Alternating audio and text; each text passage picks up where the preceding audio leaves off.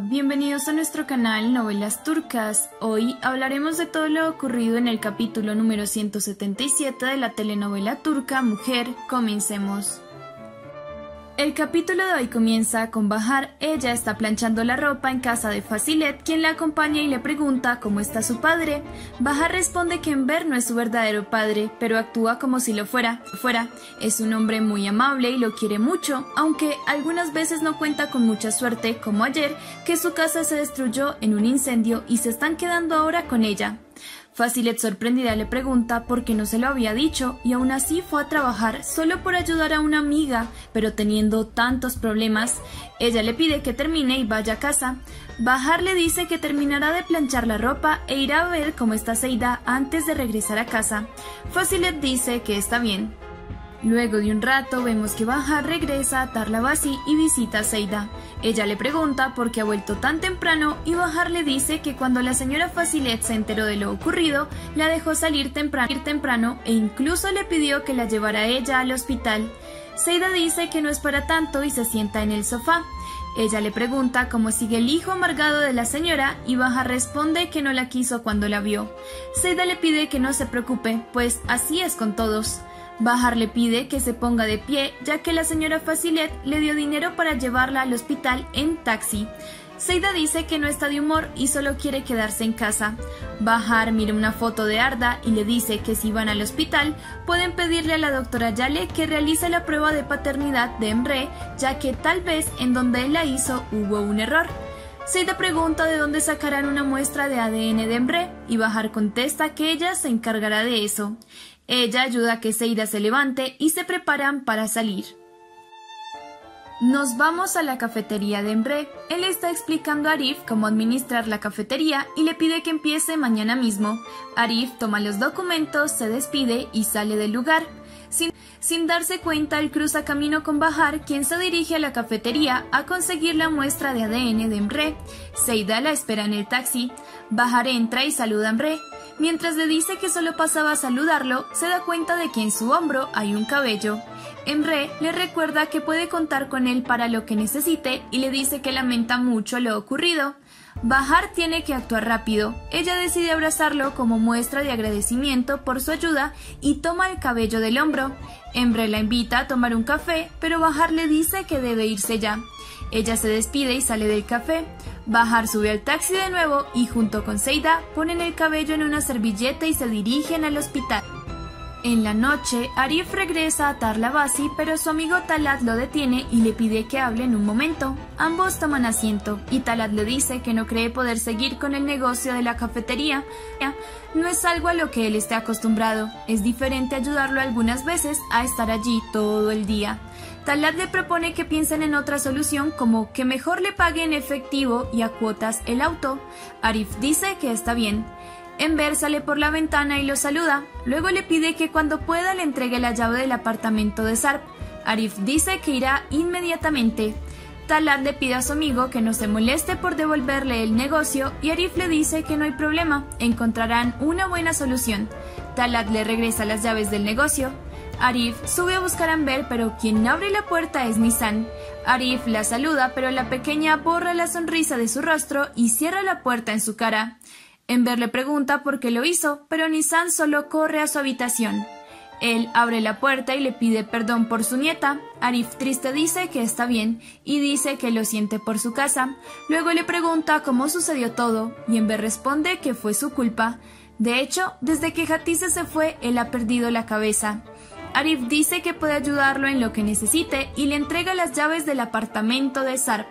Ember le informa que se quedarán allí por el tiempo que ya está pago de renta. Arif dice que no hay ningún problema. Ellos se despiden.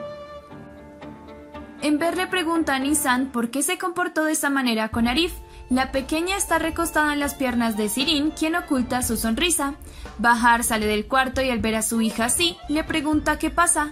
Nissan responde que nada y sale corriendo a encerrarse en otro cuarto. Bahar la sigue y le dice que no la obligará a hablar, pero debe salir y darle al menos un abrazo. Nissan obedece y abre la puerta. Ella abraza a su madre y ambas caminan hacia su habitación, pero Enver la detiene y le pide permiso para subir al apartamento. Bahar dice que sí y él sube con Sirin. Doruk se queda solo en la sala. Él ve el teléfono de Sirin y corre al piso de arriba para entregárselo. Luego le pregunta a su tía si puede entrar. Él pasa a la habitación que Sarp había organizado para sus hijos. Doruk toma un avión de juguete y se sienta en su cama. Él recuerda lo feliz que fue con su padre y hermana en esa habitación y está muy triste. En la habitación de Sarp, Sirin toma algunas de sus prendas de vestir y las huele mientras sonríe. Luego toma lo que le servirá a su padre y lo deja sobre la cama. Ella ve que debajo de la cama hay algo rosado y rosado y cuando lo recoge se da cuenta de que es un sostén. Después de consolar a su hija, Bahar sale del cuarto y al no ver a Doruk sube a buscarlo. Justo cuando ella abre la puerta, ve que Sirin le está mostrando en ver el sostén que encontró. Bajar un poco molesta les pide que envíen a Doruk a casa y cierra la puerta. Ember regaña a su hija y le pide que bote eso a la basura. Él se encierra para cambiarse de ropa y Sirin ríe. Nos vamos con Arif y Yusuf. Ambos están viendo la televisión. Arif le informa a su padre que Ember y su hija se quedarán en el apartamento de Sar por ahora. Yusuf comienza a decirle que siempre hace lo que es lo que esa familia le pida y lo manipulan. Arif se pone de pie y le deja en claro que todo lo malo que les ha pasado ha sido su culpa y de nadie más, y es por eso que es su deber ayudarlos. Arif se encierra en una habitación y llama a Kismet, él le pide a su hermana que le preste un poco de dinero, pues no tiene nada. Vemos que Kismet le dice que no hay problema y le dice que se verán mañana. Ella cuelga la llamada y vemos que le sonríe a un hombre y lo saluda con un beso. Se trata de Emre. Ambos sonríen y suben a su auto. Volvemos con Ember. Él baja al apartamento de Seida y le dice en voz muy baja lo que todos, incluyendo Bajar, encontraron en la habitación de Sarp. Seida le pide que no se preocupe, pues tiene una explicación muy, muy clara del origen de ese sostén. Ella dice que le explicará Bajar ahora mismo. Seida entra con Ember a casa de Bajar.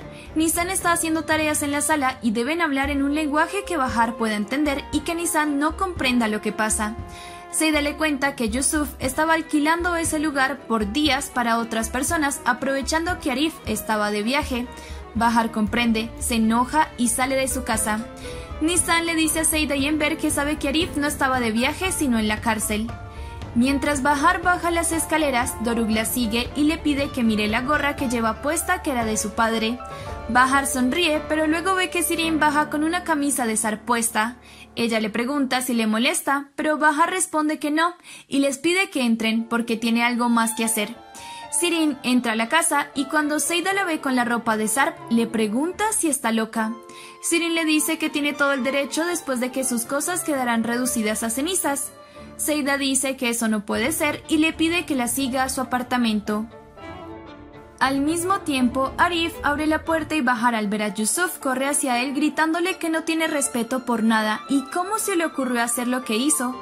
Yusuf le pregunta a qué se refiere y Bahar le dice, le dice que habla de la casa que Sarp rentó por varios meses y la misma que él estuvo rentando a otras personas. Ella le pide que no le mienta, pues acaban de encontrar un sostén en la cama de Sarp. Yusuf intenta excusarse, pero Arif le dice que es suficiente y le dice a su padre que ya todos saben lo que hacía. Yusuf dice que se vio obligado a hacerlo, ya que ella no le pagó por meses el alquiler de su apartamento. Bahar grita que eso no tiene nada que ver. ¿Cómo se atrevió a permitir la entrada de gente para hacer cualquier tipo de cosas en casa de su esposo como si fuera un burdel? En casa de sus hijos aún tienen pertenencias suyas y muchos recuerdos con su padre. Yusuf le responde que es una descarada por hablar de Sarp como su esposo y luego ir a pedirle favores a su hijo Arif. Bahar jura que lo golpeará si sigue hablando y Arif le grita a su padre que se calle. Yusuf dice que no tuvo otra opción ya que no estaba recibiendo renta. No estaba Arif y habían perdido el café.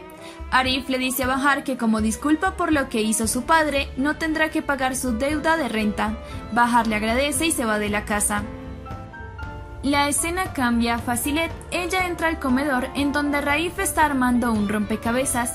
Ella se sienta a su lado y le dice que hoy habló mucho con Bajar. Es una chica diferente, sensible, hible y poderosa. Raif le pide que solo diga lo que quiera y Facilet le dice que quisiera que Bajar trabajara con ellos en lugar de Seida. Es más adecuada para el empleo. Raif mira a su madre y pregunta si lo que quiere es ayudarla. Facilet responde que sí, es una mujer que ha pasado por mucho y merece ayuda.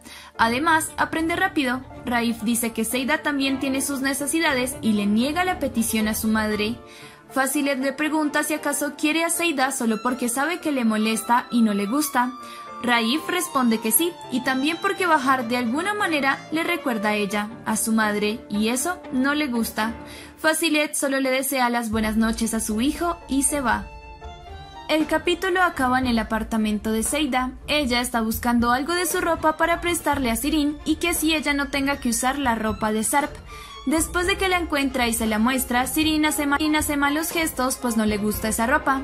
Seida la mira y le pregunta cómo fue que los niños se enteraron de que Arif había ido a la cárcel. Sirin dice que seguramente lo escucharon en alguna parte.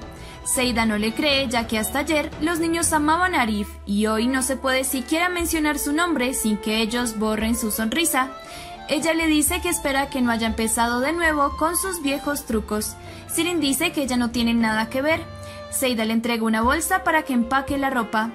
Sirin regresa a casa y le muestra a su padre la ropa sin gusto que Seida le dio. Bahar les dice que podría comprarles algo con el dinero de Sarp que reclamará en el banco, pero Enver no lo permite y le dice que ese dinero va para los gastos de la escuela privada de los niños. Él se despide de sus nietos y junto con Sirin suben al apartamento de Sarp a dormir. Espero les haya gustado este resumen. No olviden suscribirse y activar la campanita de notificaciones para que no se pierdan ninguno de nuestros próximos videos. Gracias.